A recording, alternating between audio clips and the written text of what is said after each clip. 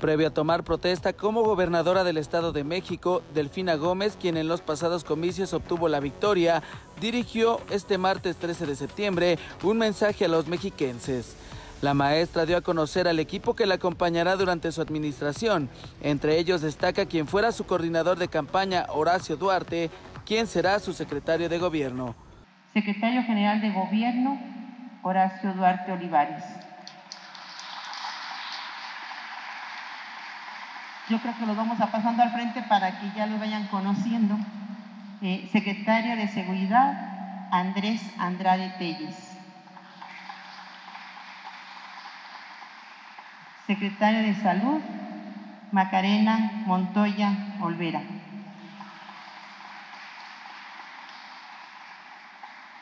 Secretaria del Trabajo, Secretaria del Trabajo, perdón, Norberto Morales Poblete. En la Secretaría de Educación, Ciencia, Tecnología e Innovación, Miguel Ángel Hernández Espejel.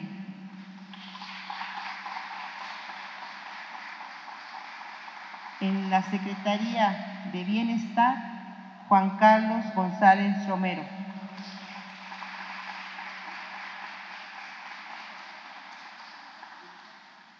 En la Secretaría del Campo, María Eugenia Rojano Valdés.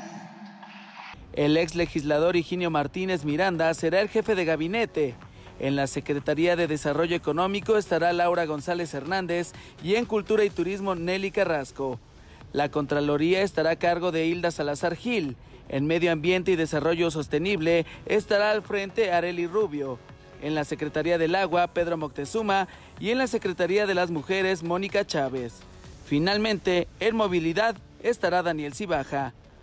Con esto, su gabinete estará conformado por siete mujeres y nueve hombres, un gabinete que demuestra el compromiso con la paridad de género. Aseguró que fue una ardua labor reunir a su equipo, pero que ellos reúnen las cualidades necesarias para afrontar la tarea de gobernar el Estado de México.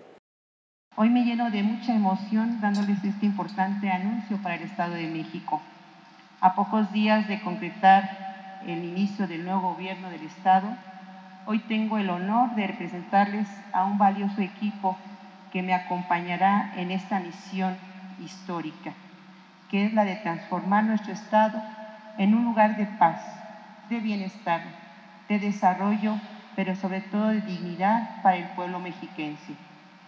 Cada uno de los miembros de este equipo ha demostrado tener las cualidades necesarias para estar aquí junto a una servidora y que tiene no solamente la preparación y la experiencia necesaria, sino que para mí es lo más importante el demostrar la fuerza moral indispensable para el desempeño de sus funciones.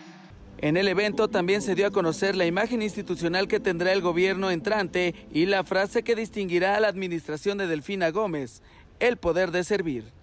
Informó desde Toluca, Estado de México, Miguel Hernández.